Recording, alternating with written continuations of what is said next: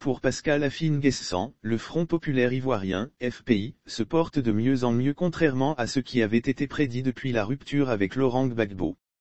Une mobilisation exceptionnelle.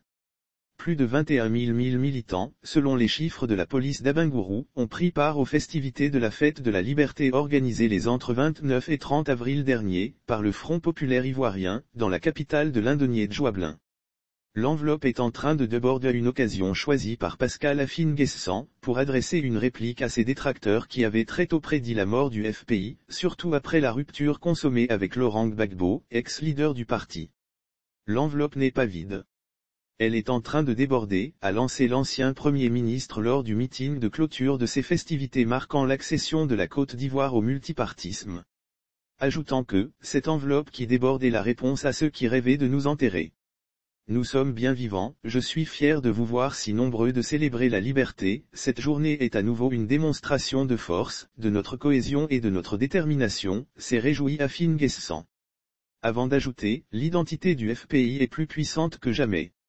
Laissons Afi avec l'enveloppe qu'il détient et nous, nous allons prendre la décision dès aujourd'hui de créer notre propre parti avec le même contenu. Cette sortie de l'ex-premier ministre ivoirien faut-il le souligner vient en réplique à Laurent Gbagbo et à ses camarades de la dissidence qui s'étaient résolus d'abandonner l'enveloppe vide du FPI aux mains de Pascal Affine Guessant en vue de la création d'un nouvel instrument politique.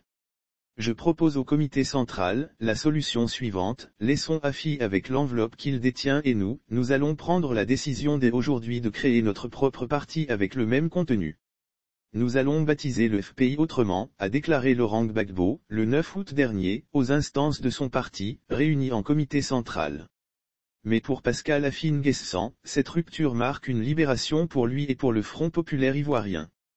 Le leader est un guide non un gourou il a rappelé à ses détracteurs, aujourd'hui militants du Parti des peuples africains Côte d'Ivoire, les idéaux qui fondent le combat du Front populaire ivoirien, depuis sa création dans la clandestinité dans les années 80. Nous sommes les défenseurs d'idéaux qui peuvent bien se fédérer autour d'un leader, le leader est une nécessité, une incarnation mais il n'existe pas au Front populaire ivoirien, d'homme providentiel, a-t-il dit. Lire aussi depuis Abingourou, Afine Guessant décrète la fin du mythe Gbagbo, il appartient au passé, nous n'avons jamais eu vocation à la vénération et à l'idolâtrie. La gloire d'un leader ne doit jamais devenir le but ultime de la lutte. Le leader est le porte-flambeau des aspirations collectives, il est un guide, pas un gourou, a-t-il indiqué, faisant allusion aux raisons véritables de la rupture avec Laurent Gbagbo et ses partisans de la tendance Gbagbo ou rien du Front populaire ivoirien, muet depuis octobre dernier en partie des peuples africains Côte d'Ivoire, PPAC.